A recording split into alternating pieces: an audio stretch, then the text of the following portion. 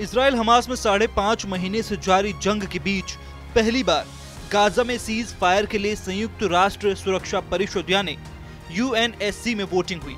प्रस्ताव के पक्ष में 14 वोट पड़े, जबकि अमेरिका ने वोटिंग नहीं की।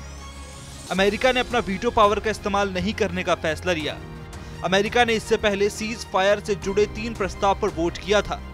अमेरिका गाजा में सीज फायर के पक्ष में रहा है। यूएन में हुई वोटिंग के बाद इसराइल के प्रधानमंत्री बेंजामिन नेतन्याहू ने बड़ा कदम उठाया है। नाराज़ नेतन्याहू ने रक्षा मंत्री का यूएस दौरा रद्द किया। प्रस्ताव के बिना शर्त के सभी बंधकों की तत्काल रिहाई की मांग की गई। साथ ही, गाजा में मानवीय सहायता पहुँचाने के लिए सभी बाधाओं को हटाने के लिए कहा गया। अब सवाल खड़ा होता है कि क्या इसराइल सिक्योरिटी काउंसिल की बात को मानेगा? अगर वो प्रस्ताव की अनदेखी करता है तो उस पर क्या एक्शन होगा? यूएनएससी के महासचिव एंटोनियो गुटेरस ने एक पोस्ट में कहा है कि सुरक्षा परिषद ने गाजा में बहुप्रतीक्षित प्रस्ताव को मंजूरी दे दी है।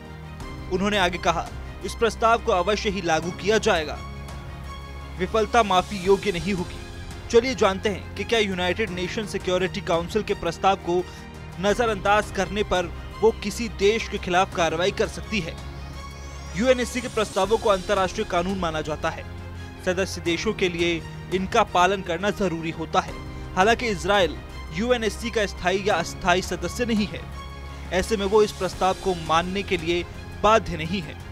अगर सुरक्षा परिषद में कोई प्रस्ताव पास हो भी जाए तो यहाँ इसे लागू कराने का कोई ज़रिया नहीं है। हाँ ये ज़रूर है कि सदस्य देशों की सहमति से इसराइल पर कोई प्रतिबंध यानी सैंक्शन लगाए जा सकते हैं। इसराइल हमास जंग रोकने के लिए पहला प्रस्ताव नवंबर 2023 में माल्टा ने पेश किया था। दूसरी बार यूएई ने दिसंबर 2023 में और तीसरी बार फरवरी 2024 में नॉर्थ अफ्रीकी देश अल्जीरिया ने प्रस्ताव पेश किया था। अमेरिका ने तीनों बार इसे ठुकरा दिया था। अंतर्राष्ट्रीय मामलों की समझ रखने वाले एक्सपर्ट्स की राय माने तो अगर गाजा में युद्ध विराम नहीं होता है तो सिक्योरिटी काउंसिल की इसराइल या किसी भी देश पर कार्रवाई करने की संभावना न के बराबर है। United Nation Security Council United Nation के छह प्रमुख अंगों में से एक है। विश्व शांति और सुरक्षा सुनिश्चित करने के मकसद से इसकी स्थापना 24 अक्टूबर 1945 को हुई थी। ये एक तरह का वैश्विक मंच है जो विवादों को निपटाने के तरीकों पर चर्चा करता है।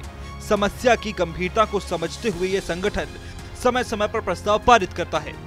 हालाँकि ऐसा कई बार हुआ है जब इन प्रस्तावों को संबंधित देशों ने नजरअंदाज किया है। यूनाइटेड नेशन के फैसलों की अनदेखी किए जाने की एक प्रमुख वजह है कि यूएन के पास अपनी कोई स्थायी सेना या पुलिस बल नहीं है। जब भी यूएन को कोई ऑपरेशन करना होता है तो वो सदस्य राज्यों से आवश्यक सैन्य या पुलिस कर्मियों का योगदान करने को कहते हैं। शांति रक्षक अपने अपने देश की वर्दी पहनते हैं। इसके अलावा वो यूएन का एक नीला हेलमेट पहनते हैं। यूएन पीस कीपर की पहचान के लिए उन्हें एक बैज भी दिया जाता है। शांति अभियानों के नागरिक कर्मचारी, अंतर्राष्ट्रीय सिविल सेवक होते हैं, जिन्हें संयुक्त राष्ट्र सचिवालय द्वारा भर्ती और तैनात किया जाता है।